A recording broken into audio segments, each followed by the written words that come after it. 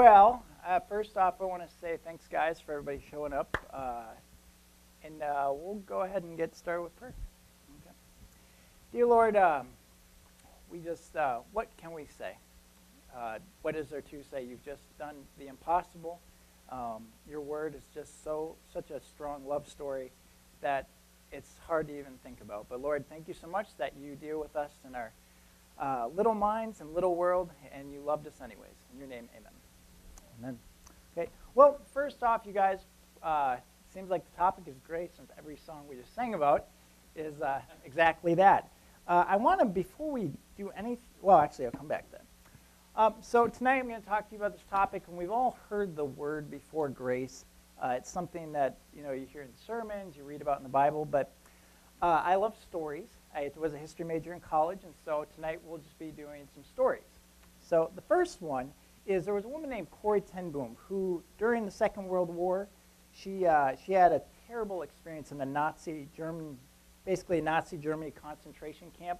She, uh, being the Christian that she was, she would take in Jews, even though she wasn't Jewish, in um, in the Netherlands, and that was obviously an illegal activity by the German occupation. And so her and the rest of her family were put into these death camps, if you will. And uh, during her experience, Corrie ten Boom found herself standing face to face with one of the most cruel and heartless German guards at the facility she was at and that she'd ever met in the camps. It was just brutal, and the conditions were this man had actually humiliated and degraded her, both her and her sister, Betsie. He was jeering at them and visually raping them as they stood in the delousing shower naked and, and vulnerable to so many horrible things. Well, the interesting thing is, funny thing, God works in mysterious ways. Years later, after she was miraculously released from these camps, this uh, German officer that was brutal to her and, and uh, just uh, unspeakable, he stood before her with an outstretched hand as a Christian, asking, Will you forgive me? And uh, Corrie said, I stood there with coldness clutching at my heart, but I know that the will can function regardless of the temperature of the heart. I pray, Jesus, help me. Wittingly, mechanically, I thrust my hand to, into the one stretched out towards me, and I experienced an incredible thing. The current started in my shoulder and raced down my arm and sprang into our clutched hands. Then this warm reconciliation seemed to flood my whole being, bringing tears to my eyes. I forgive you, brother. I cried with my whole heart. For a long moment, we grasped each other's hands, the former guard, the former prisoner, together. I have never known the love of God so intensely as I did in that moment. When we forgive, we set a prisoner free, and of course, that's ourselves. Now, the question is, is who can do that in their own strength? If you put yourself in her shoes, could you honestly go to a man that, that you may have had countless sinful thoughts about and go and say, I forgive you, brother? Well, obviously, that's something that we couldn't do by ourselves. So, to me, that's a great illustration of what grace looks like to open. Corrie ten was a tremendous author and died uh, about 20 years ago, and that's just the example. Now, thinking about that, you've heard the phrase before, for by grace you have been saved through faith, and that's something that I always stuck in my mind. But, you know, the verse goes on to say after that, and this is not of your own doing. It is the gift of God. It is not a result of works, so that no one may boast. And again, Corrie ten Boom in her own strength, she wouldn't have been able to do that, but this allowed her to do that.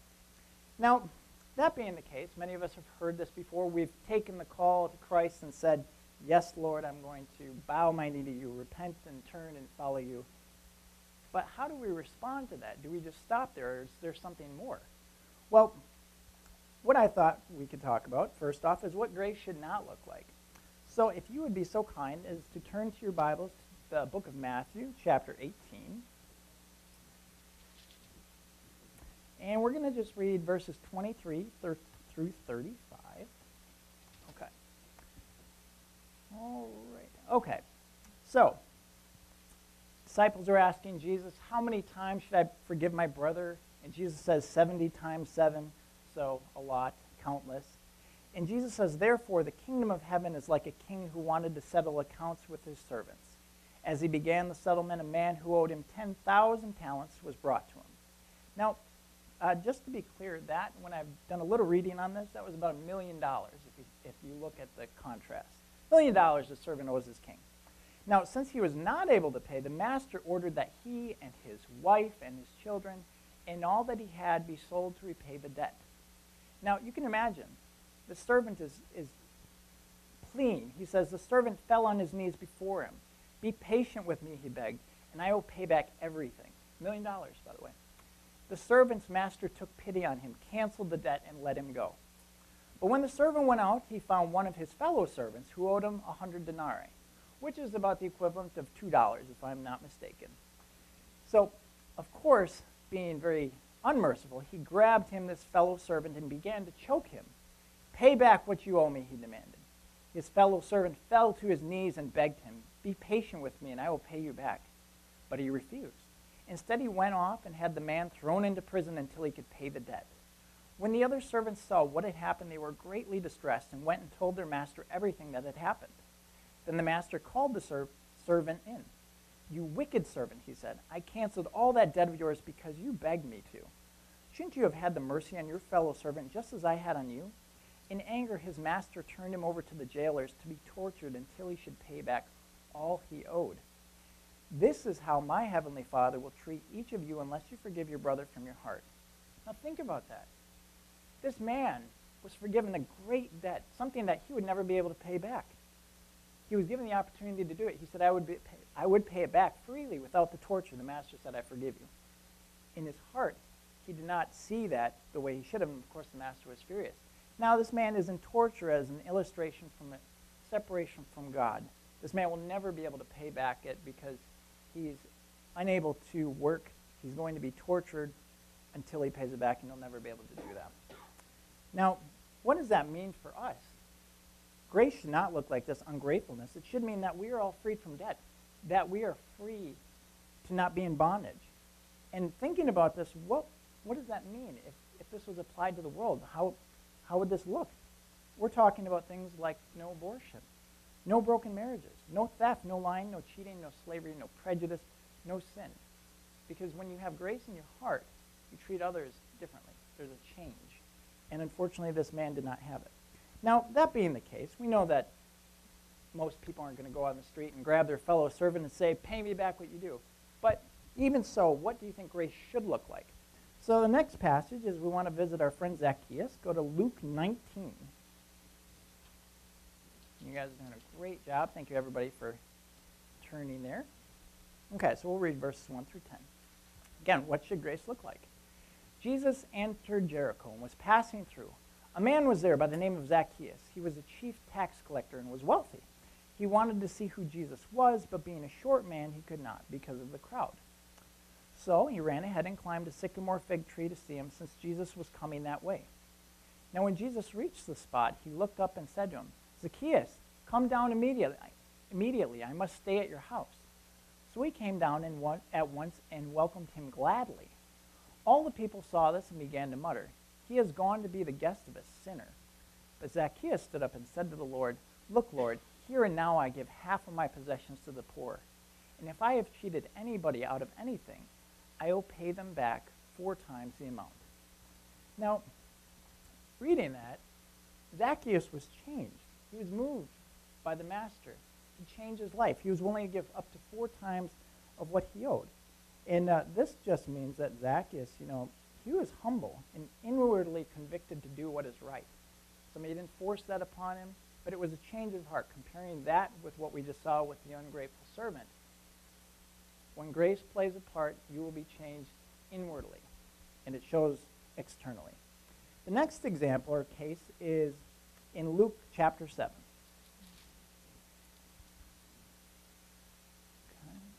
Okay. All right, starting in verse 36.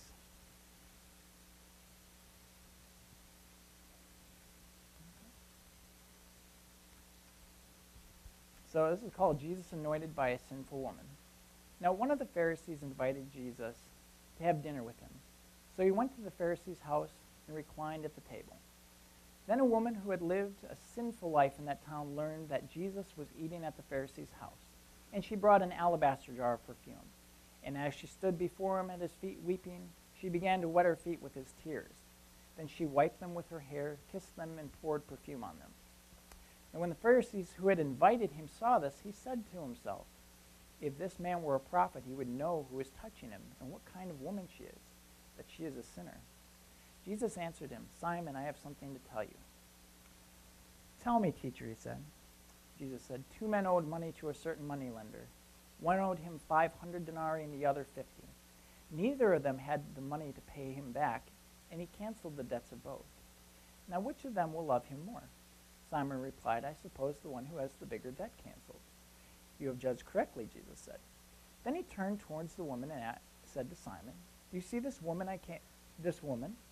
I came into your house. You did not give me any water for my feet, but she wet my feet with her tears and wiped them with her hair.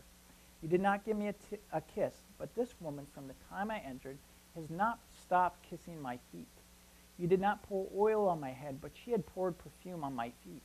Therefore, I tell you, her many sins have been forgiven. For she loved much, but he who has been forgiven little loves little. And then Jesus said to her, Your sins are forgiven. Okay, so thinking about this, and honestly, how many of us would be willing to do that? You have this man here, and, this is the Savior, but you bend down, and, and maybe this is more applicable to women, but you take your hair and you start washing this man's dirty feet from the road and unspeakable things. You don't just do that. Something changes in your life where you recognize that there's a Savior in front of you. That this is not just a ritual. This is something that she did that was very personal. Now, that in mind, do you think she was thinking about herself when this happened? Do you think she was thinking about her, her well being? Of course not. Grace is not about you or me, it's about Christ and what he has done. Now, considering these examples I've just given you, you know, all these things happened before Christ was crucified. We think so often about the cross that Jesus died on and the, and the pain that he went through. But if these people are seeing this before he died, how much more should we recognize how much grace that we need? That we are, we are helpless without it. Now, you know, and I always I like to say, how thankful should we be? Because we have been given this free gift of grace. For by grace you have been saved through faith. It is a gift of God, not of yourself. Now, for the non Christians out there, this is being recorded. My, my message to you is to come out of the shadows, come to the foot of the cross. Jesus is waiting for you to come home. He bore your sins. He loved you, He died for you. And again, if these people who thought themselves not worthy but saw the, the Savior before he died, God is just as loving now. He even loves you more that he did do those things. Now, for the Christian, for us, for those of us who say we are children of God, cast your worth on the grace of Christ. You know what? And put your strength in him, not in yourself. And I, I like to say it's without him like carrying an elephant. I've never met one man to do it. No one can do it. It's impossible. Now, uh, last passage we'll turn to is Romans 4, if you want to turn there very quickly.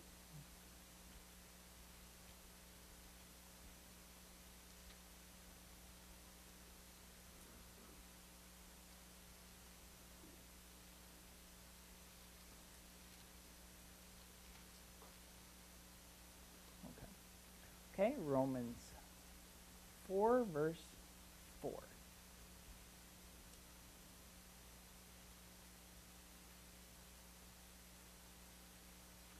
Now, when a man works, his wages are not credited to him as a gift, but as an obligation.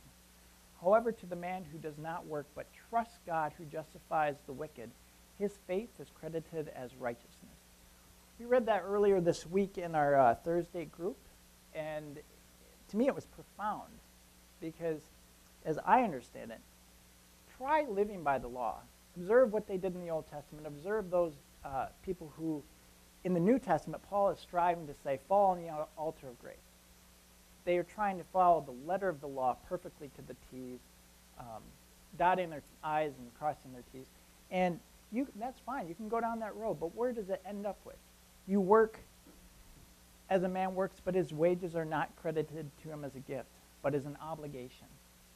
You know, you're really making it hard on yourself. When Jesus came and died for you and says, by grace are you saved through faith, now, a caveat with that, what is, does that mean that we just live our lives the way we want? No, certainly not. If these people who are willing to debase themselves, wash Jesus, count themselves unworthy, give away their wealth like Zacchaeus, if they were willing to have a change of heart and an outward expression of that change, who are we to be any different?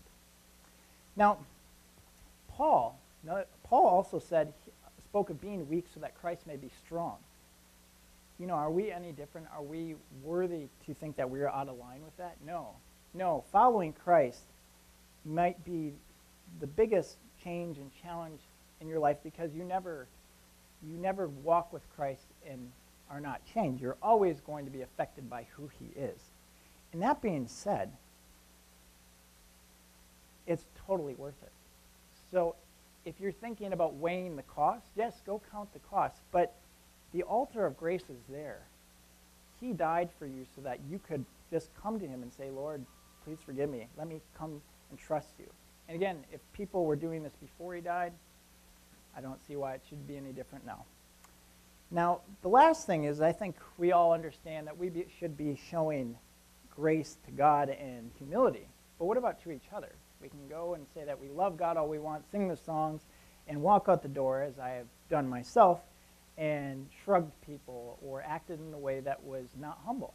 So the simple message is, is that we should love God and that we should love others, and it's by showing some grace.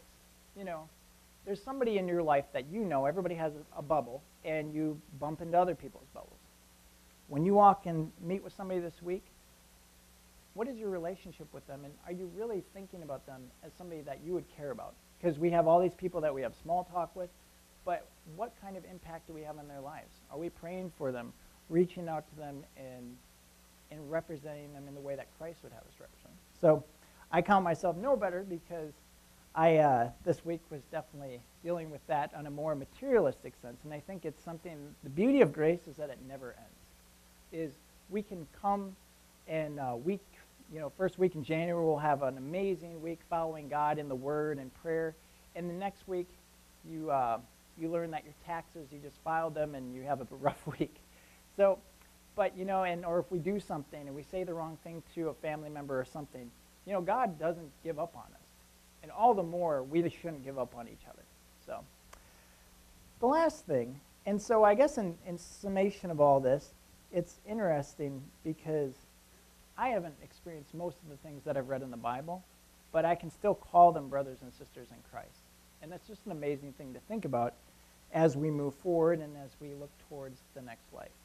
Now, the last thing, uh, just in closing, thinking about a, a very uh, powerful story that I heard as a boy from my dad was uh, about what it means to show grace to someone.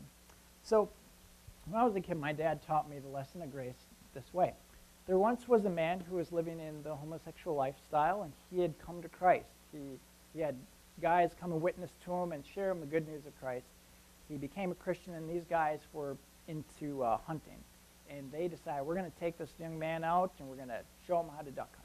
So he goes out, and he's got a shotgun in his hand, and, and um, so they're going out, and all of a sudden he goes, and a bird flies up, and of course you got to uh, shoot at the bird, but there's guys around you, so it's kind of a dangerous type of sport.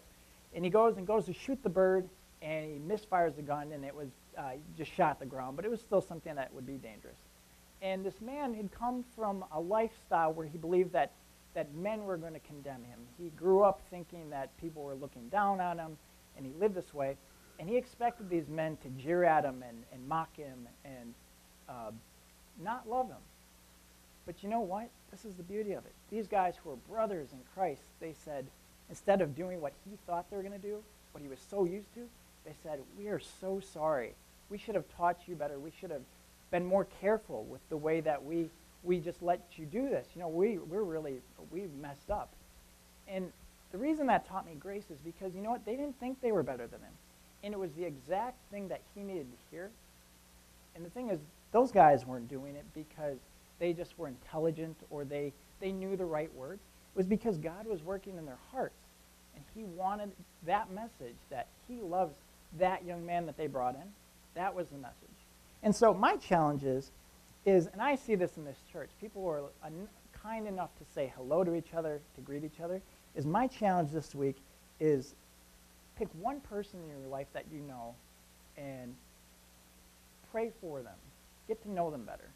And I'm giving that to myself because I'm kind of a kind of a, a boxy kind of guy and I like my space, but but looking at all this, I can't but think that if grace is real in my life, then it should be reflecting to others. So, that being said, that's all I have. Let's close in prayer.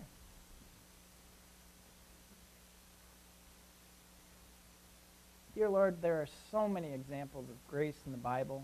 We think um, we read it all the time, Lord, and, and uh, are inspired, Lord. But let it be made manifest, Lord. May your light shine through us. That grace isn't a word that we need to speak, but only seen by so many, Lord. That uh, what people see as a difference in us, Lord, we can say that's just God's grace.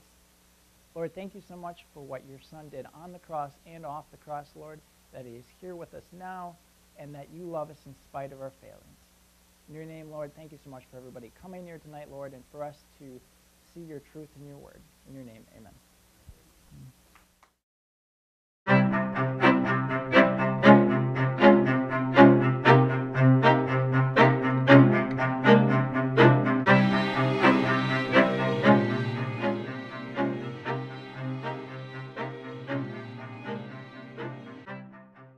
Foundation Bible Church, inconveniently located two blocks northwest of the Janesville Athletic Club.